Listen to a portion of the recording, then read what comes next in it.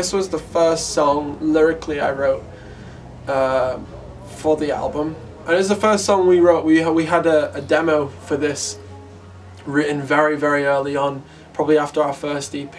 We were like, we're gonna save this for the album.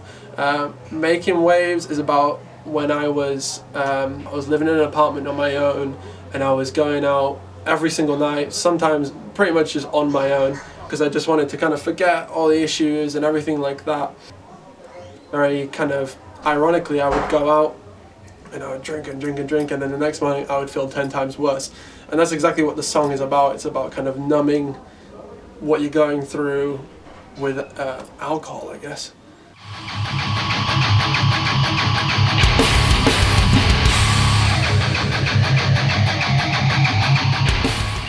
Number two is uh, What I'm Running From. That song is about when I moved to Barcelona on my own.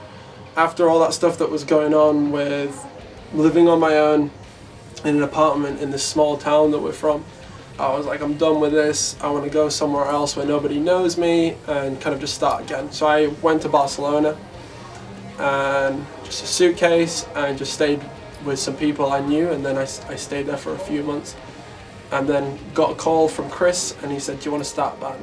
So it's pretty much what that, that process of when I was on the plane and the feeling I got when I got off the plane, I had no idea what was going on. That's what that song's about.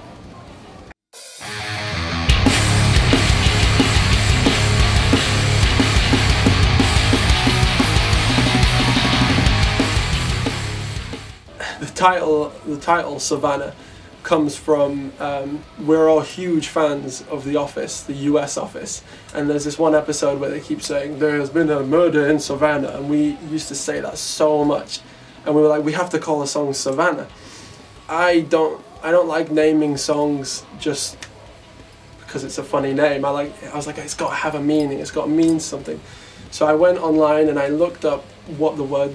So obviously there's the city Savannah in America, but there's also a savanna, which I can't really remember now, but I think it's an area of a forest that doesn't grow that well because of doesn't get that much sunlight. Something like that. Someone I know someone's gonna pop up and say that I'm wrong or something. But I was like, that sounds a lot like the town where we come from. Don't get me wrong, I love where we come from, but sometimes as a musician, as a heavy musician, it's really hard to get out of there. So that's pretty much what that song is about. Um, it's about dreaming big and wanting to take your music further. The amount of people that have told me, ah, there's no point being in a band, there's no point doing this because ah, just go get a job in a cafe, just go do that. And I've, al I've always been like Chris and Sam, we've always been like, no, this is what we're gonna do.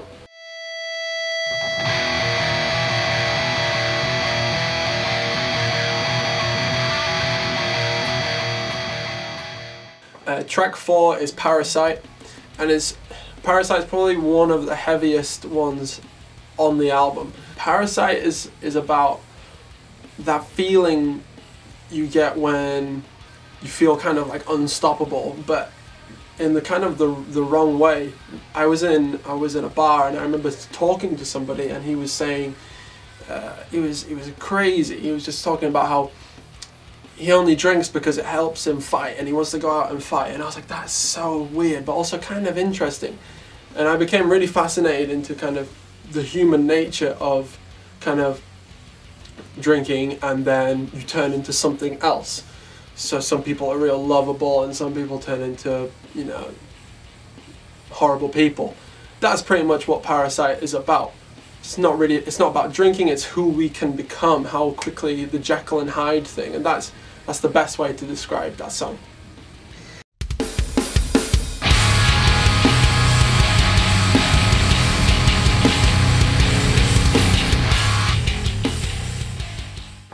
Next is i remember and this is contender for one of my favorite tracks we've ever written. And i remember is about well, it's, it's about if I could go back in time and have a conversation with like myself when I was about 15 and I think we all would love to do this uh, I'd be like mate there's some parts where it's not good it gets a bit rough so be prepared.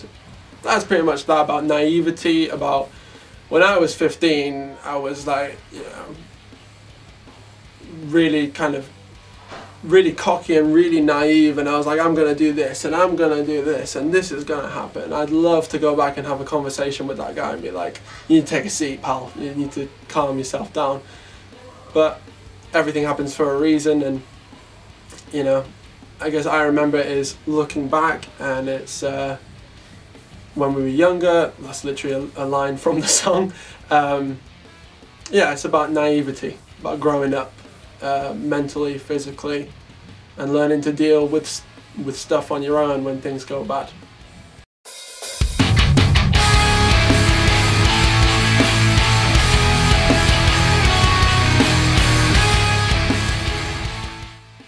Uh, next one is Reason to Stay, and this was the first single off the, the debut Beyond Repair, and um, I remember we when we wrote this and we demoed it, we were like, "This is it," and we sent it to our manager. And Lauren, she said the same thing. She was like, "This is the first single."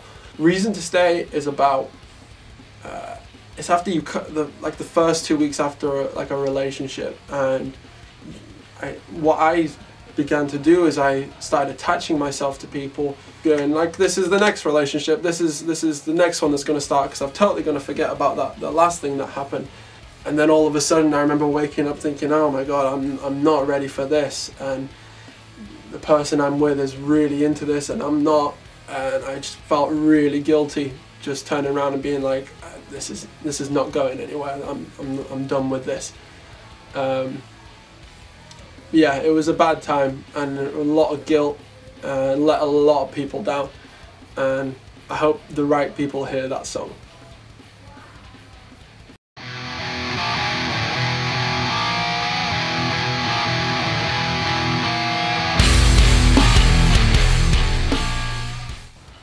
Track seven is Pulling Teeth, and Pulling Teeth is just about being angry. It's about being mad. It's about wanting to break stuff.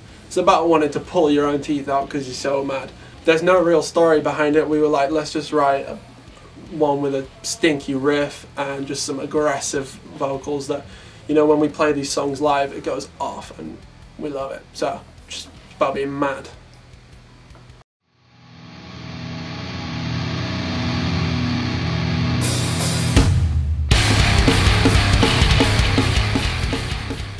Uh, next one, Buying Time, is probably the most melodic song we've written. This, to be fair, it's got the heaviest riffs we've ever written, but the chorus is is so so. I remember hearing it for the first time, going, "Oh, can we get away with this? This is bordering on pop punk, which is we're not a pop punk band, but it's a real catchy song, and we just fell in love with it. The more we listened to it, we were like, "This is sick."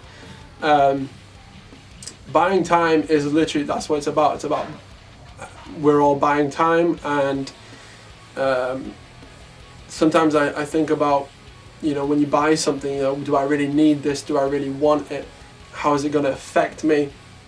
And again, so relating that to the album theme is when you're trying to get over something, you just need those distractions. Uh, yeah, that's literally it, buying time.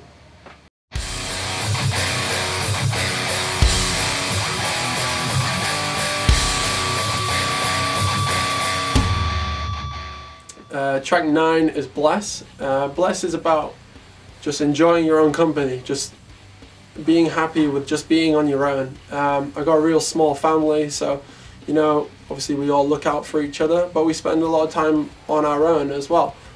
I'm totally fine with that, and it's what I'm used to.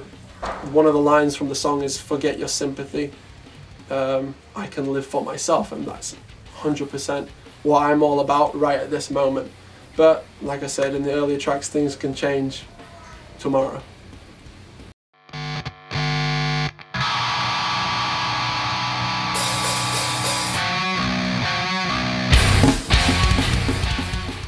Man-Made Disaster is track 10 and that's the last track on Beyond Repair and it's just another one like Pulling Teeth, it's just about being angry it's a fast song and it's a song we wrote for like circle pits and we just, it's just carnage when we play these kind of short, fast songs.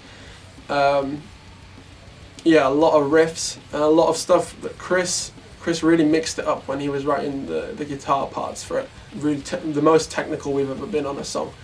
Uh, lyrically, like I said, it's just being about being angry. kind of puts a nice little bow on the album and all the themes. Brings it all to a really nice close. Really nice, pretty bit at the start with the, for the guitarist as well.